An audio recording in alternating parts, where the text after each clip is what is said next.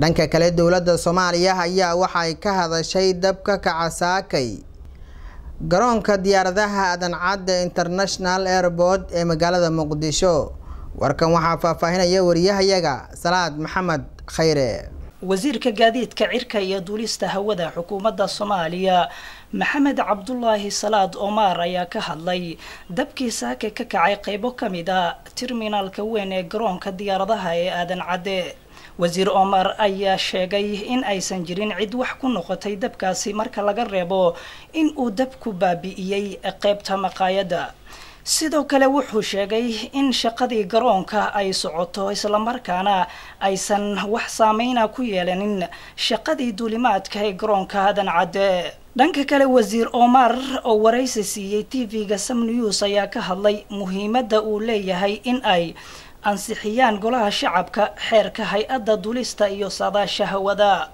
Sharcigana waa sharci aada iyo aada muhiim u ah waa dastuurkii lagu dhaqi lahaa civil aviationka dhinaca duulista hawada. Waa sharci aan ku qasbannahay in aan gudbino sababtoo ah waxaan saxiixnay heshiiskii chicago nineteen forty fourkii la saxiixay. Innagana waxaan ku biirnay afartii taas waxay nagu qasbaysaa sharcigan inaan samaysano sharcigii alxamdulilah muddo dheer khubaro soomaaliyeed ay ka soo shaqeynayeen kadib wuxuu maanta inoo maray golaha baarlamaanka akhriskiisii ugu horreeyey oo sidaad arkaysay aada loo soo dhaweeyey waxyaabihii muhiimka ahaa ee su'aalihiina laga weydiiyena ay ku qanceen xildhibaanada golaha shacabka.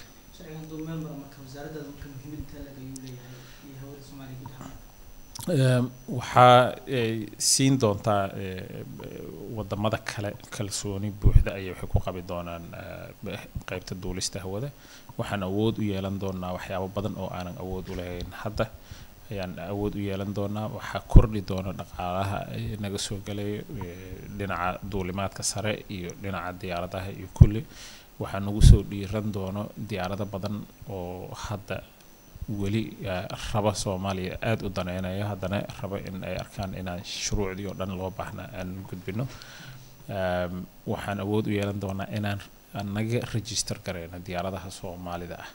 Diyaaradaha dadka soomaalida iska leeyihiin hadda waddamada kale laga register gareeya ayaan awood u yeelan doonaa in aan register gareyno dhaqaalaha ayaa kobci doona hadduu ilaahay ka raali noqdo shaqaaleynta ayaa badan doonta oo waxaan awood u yeelan doonaa inaan shaqaaleyno oo dad ka tir badan inta hadda inoo shaq midda ugu horreysa waxay tahay shacabka soomaaliyeed ee doonaya in ay safraan inay u kala gooshaan meelaha kala duwan ee adduunka inaan u fududeyno safarkooda in qiimaha uu hoos u soo dhaco inay helaan diyaarado caalami ah oo meesha ay rabaan sida ugu degdegsiinyo badan ku geyn kara. Taasi waxay ku timid kalsooni laga helay dhinaca amniga ee airboortka iyo wadanka oo runtii dhaqaalihiisa generally uu isbedelaya.